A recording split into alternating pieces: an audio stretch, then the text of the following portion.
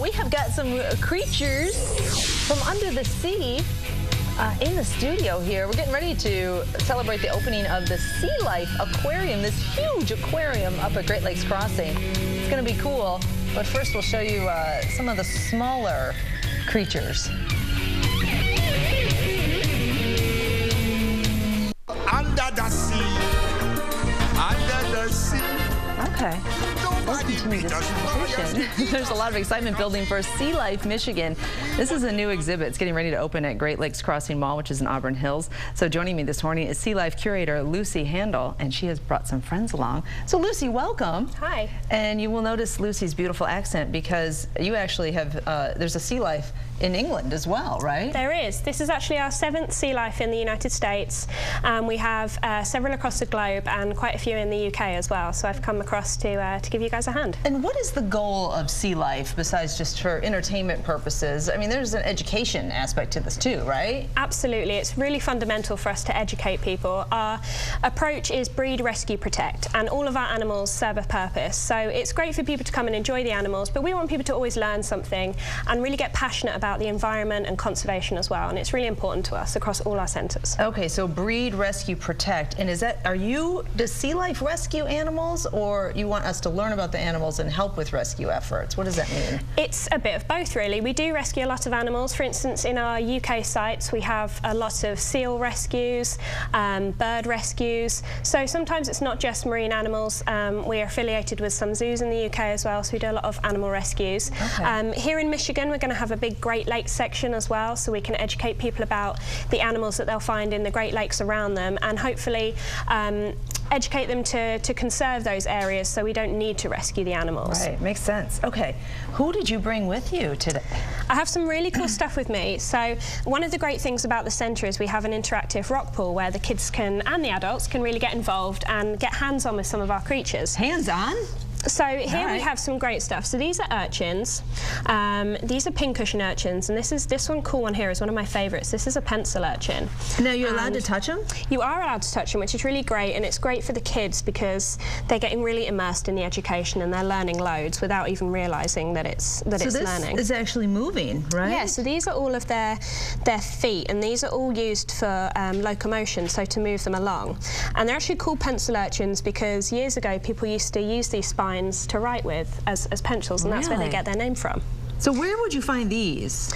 These are all um, tropical marine animals, so places like the Red Sea, Indo-Pacific, nice warm tropical places. Okay. Um, you find these in inter uh, tidal pools, so where the water's coming in and out of rock pools. You might see them on the beach if you're going rock pooling with your nets and stuff like that. All right. It's the same with the sea stars. Um, we have some cool ones here, and as you can see from the two, they come in lots of shapes and sizes. Now, Um, when we see starfish, usually it, it seems like they're washed up and they're not living anymore, right? Yeah. So how do you do you see movement on the You backside? do. Or So I'm just going to flip this one over for you. And all of these bits here, let me just see if it's easier on this guy here. Um, but you can see lots of little tube feet. okay. And Oh, If yeah. I bring them out, they're just moving Oh yeah, can you see that? I don't know if you can see that on camera. You see the are these are little feet? Yeah, so you're welcome to just out? give it a little stroke, just Yeah. like the kids can if they come in, and to see how it feels. So they're quite soft, and then the little tube feet, and they'll use those for moving as well and passing food up to their mouths, which is just that bit in the middle there. Really? Um, so really like multifunctional, and they really are this just guy's coming incredible over and getting in our camera shot. He's trying to be a superstar already. now, what can we touch these? you can touch these. So these are pincushion urchins.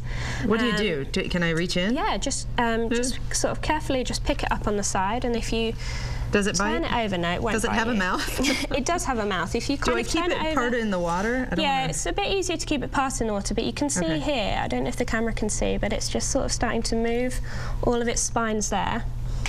Okay. And this is what it will use to move along, and also again, like the sea star, to pass food into its mouth, um, into its vascular system. And that mouth is right there in the middle. Yeah, they have a really um, incredible system. They have water throwing, flowing throughout all of their body, and that's how they use for gas exchange.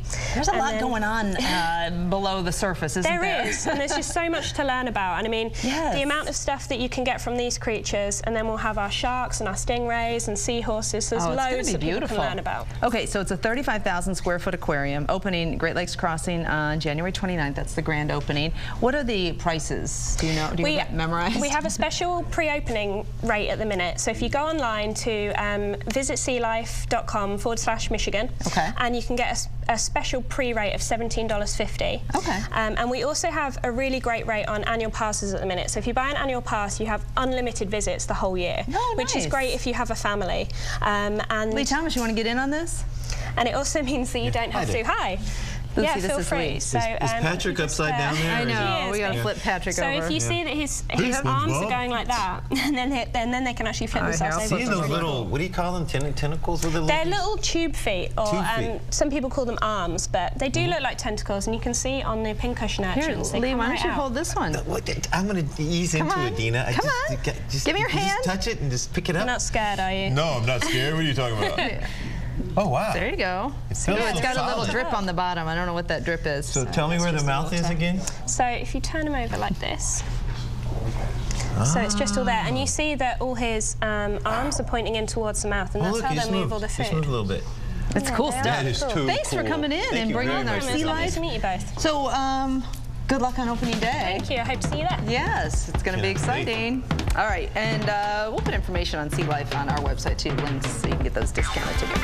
That's awesome. Also awesome, the Consumer Electronics Show going on right now in Vegas. Today is the start.